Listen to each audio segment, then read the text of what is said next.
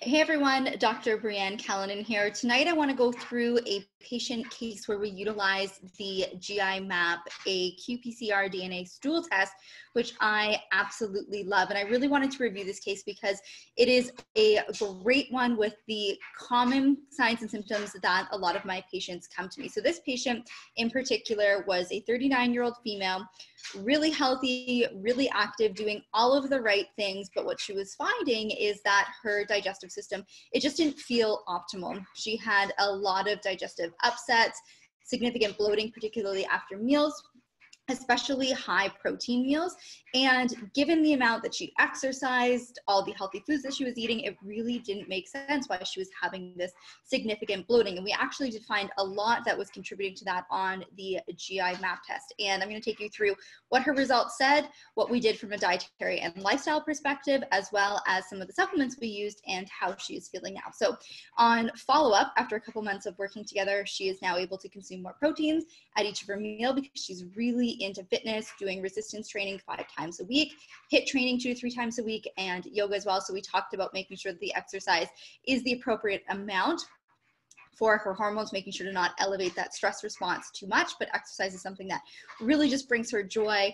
Um, it's a part of her routine, it's a part of her career, and I absolutely love fitness too. So we were okay at continuing on that level of fitness because what we were doing is we were optimizing her overall health, really focusing on gut health. And as a result of healing the gut, we actually didn't have to treat any of her hormone imbalances. So she was finding that before her menstrual cycle, she was getting really heavy periods, a lot of PMS, breast tenderness, bloating around her cycle. And through addressing the root cause and treating gut health first, that is actually completely resolved, which is amazing because a significant portion of your immune system in, in, your gut, inflammation can lead to hormone imbalances as well. And you can see on her GI map that inflammation was an issue for her. Um, so it just goes to show once you get to the root cause and you address the GI tract first, which is what I do in my practice, a lot of these hormonal issues can resolve on their own without treatment, which is really, really great. Um, so that's what we're continuing to work on. Now she's in maintenance and she's doing really, really well. So let's dive right into her GI map report. I'm gonna make this a little bit smaller so that you guys can see the overall results. So this is the very first page of the GI map. This one shows us all the pathogens. So these are the big guys that you might have heard of like Salmonella, C. difficile, these are the ones that we would all agree in the medical community that if they are present, they either should be monitored because they are transient and they will self resolve, or they need to be treated. Most of the times, you will see signs and symptoms that are pretty dramatic with these pathogens, but the great news for her in this case that these were all completely normal, non detectable. In addition to measuring pathogens, what I really love about the GI map is it looks at the normal or commensal bacteria as well as other things that we can really help to remove to prevent and treat certain GI issues as well as prevent autoimmunity. So the first one is H. pylori. This is the main bacterium that is responsible for gastric ulcers, whether it's in the stomach, also duodenal ulcers, as well as reflux. So this one came back all clear. And I really love the GI map because it not only shows if H. pylori is present, but it also shows the virulence factors, which means how likely is the H. pylori to be causing clinical signs and symptoms.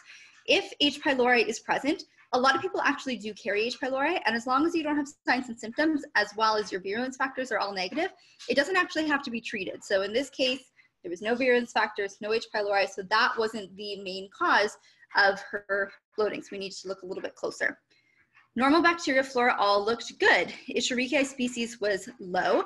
So when this one is low, I'm thinking of is this patient at risk of having more pathogenic E. coli? So having the normal bacteria present, the normal Escherichia species will actually prevent any pathogenic E. coli species for developing. So in this case, she wasn't experiencing UTIs. If she was, and they were E. coli based UTIs, we would want to help optimize this. Another reason why this could be low, just poor mucosal health as well as inflammation. So we wanted to look at that specifically on the last page, which we will go through as well. But for her overall, her normal bacteria flora looked pretty good. So for this client in particular, if you were to give a lactobacillus based probiotic, probably wouldn't see very much benefit from it because her lactobacillus as well as her bifido are actually within healthy levels. So this comes into play with precision and individualized medicine that not every single person needs to have the exact same supplement. Not every single person needs a probiotic. You really have to look at the history as well as how is the gut behaving right now. And in this case, it looked really good. Overall, we do see that the Bacteroides is a little bit low, but if you can see here, this is 10 to the power of 11, and normal is 10 to the power of 11 as well. So this one I wasn't too, too concerned about. Her Firmicutes Bacteroidetes ratio, we can optimize a little bit. I like this number to actually be as low as possible because the lower this is, the less calories you're going to extract from food, less risk of inflammation, less risk of diabetes, as well as fat deposition. In my practice, I work a lot with hormones and weight loss, so I'm focused on getting this ratio as low as possible. In order to lower this ratio, she could include some more prebiotic fibers in her diet, like psyllium husk, as well as resistant starch. A great way to get resistant starch is cooked and then cooled potatoes. Um, that's actually a great way to get resistant starch to help feed these good bacteria in the Bacteroides fiber, phylum to help increase those. So you can just, you know, bake your potatoes, let them cool. You can heat them back up or eat them cold again to get more of that resistance starch um, or consume more fibers in your diet, whole food fibers.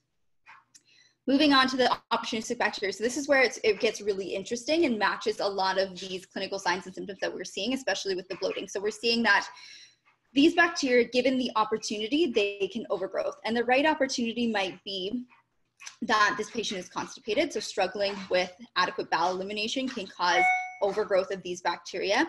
In addition, if you don't have enough stomach acid, these bacteria have the opportunity to grow and flourish at levels that they might not be ideal at. And this really was the cause of the bloating that she was experiencing. In addition, the GI map test measures your large intestinal bacteria. It doesn't directly measure small intestinal bacterial overgrowth or too much bacteria in the small intestine, but due to proximity, it is likely that these bacteria had made their way up to the small intestine, and that's why we were seeing that upper abdominal bloating. So this is really something that I wanted to target.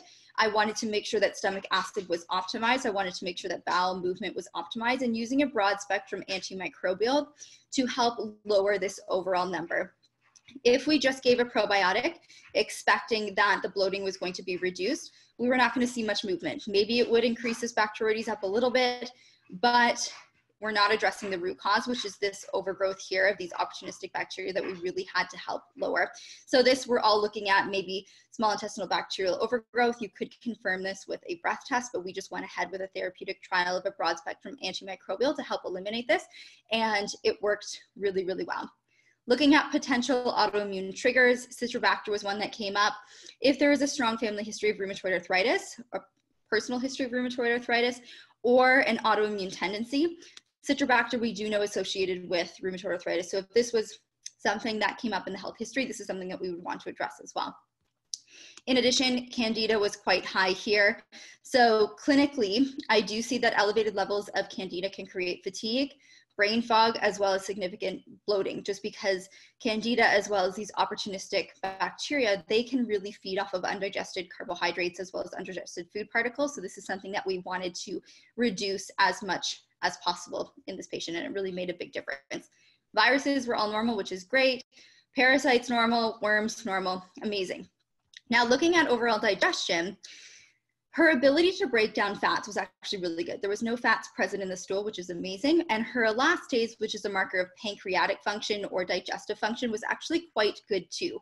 So this is where you really have to work with a practitioner who has a background in treating GI issues. Because if I was just to read this lab report and didn't do the clinical history with it, I would say that this patient wouldn't need additional digestive support. They wouldn't need additional pancreatic enzymes, digestive enzymes, or HCl. But in this case, because of the overgrowth, it was something that I really wanted to emphasize as important. Even though it, it seemed to be okay on the stool test, when we did a therapeutic trial of HCl, if you have enough stomach acid and we give you more acid, you should feel warming. And we were actually able to get up to six to eight caps of HCl without experiencing burning, which to me showed that even though the GI map showed that um, digestive function seemed to be normal, um, we still wanted to supply more of that HCl. So that was the one thing we did. We actually were able to drop her dose down to two betaine HCl with pepsin with each meal. She was gluten free and dairy free as it is and was going to continue to do so. I, so I didn't see the need to do a broad spectrum digestive enzyme that helped to break down gluten and dairy um, because she was going to be compliant with that as well. So we just chose HCl as a main phase in step one to help reduce the opportunity for those opportunistic bacteria to grow.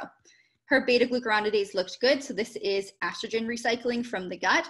So we wanted to make sure that estrogens weren't being recycled from the gut and that was contributing to the estrogen dominant symptoms that she was experiencing with her menstrual cycle. So that looked great. No blood in the stool, which is amazing. Her immune system looked really good. So this shows me that the immune system wasn't overreacting to um, any bacterial pathogens were there. No, none of the big pathogens came up, none of the parasites, none of the worms came up. And this showed me that she had a robust immune system so that when we put in these antimicrobials, they would be a really effective treatment for her. If her secretory IgA was low, that's what I would start first. I would want to support the body's own immune system prior to adding in antimicrobials so that the antimicrobials could work with the client's immune system so that it would be a more effective treatment plan. So it was great. We didn't have to do that step. We started with the HCl and the broad spectrum antimicrobials. I'll go through a little bit of the dosing that we used. Um, in addition, her anti-gliadin IgA, it was it was creeping up there so i would say this is a fairly high result um, for someone who had claimed to not have gluten in their diet at all so this could be you know she is sensitive to gluten and the amount that she's consuming with the cross contamination, that was still triggering it. So for this, I said, you know, this is pretty high for someone who claims to not be having any gluten in their diet. So make sure to continue to find those cross contaminations and do the best that you can to keep all gluten out of your diet. This one here was quite high. This is calprotectin. This is inflammation in the gut. So the opportunistic bacteria was creating inflammation. She does do a lot of exercise, which could contribute to an elevated level of calprotectin in the gut as well. So after our treatment phase of removing the opportunistic pathogens, we did a healing phase with GI Revive and glutamine and colostrum to help get this down. And this is one of the markers I would recommend retesting because when we're looking at elevated levels of inflammation in the gut, we want to make sure that there's no irritable bowel disease such as Crohn's or colitis. So this is something that we are going to be retesting in the next couple months. In addition, zonulin, which is a marker of leaky gut, is really high. So we want to see, okay, why is this leaky gut so high? Is there other environmental triggers? Do we have to look at tap water? Are you truly making sure that you are avoiding gluten because that can be another one that elevates this level of zonulin, as can environmental toxins and over exercising. So this is another one that we want to really work on because zonulin is a marker of leaky gut. And if your intestinal cells are open and you're not able to digest your foods properly, those proteins can get through. And we really don't want food particles getting through, triggering the immune system. So the last phase of this treatment protocol is really to tighten up this is zonulin, making sure that leaky gut is not an issue so that the immune system isn't overreacting to things that it shouldn't be because they shouldn't be getting through. So, what did we do? Phase one was all about removing food triggers. So, removing the foods that weren't making you feel well, making sure to be gluten free, dairy free as much as possible.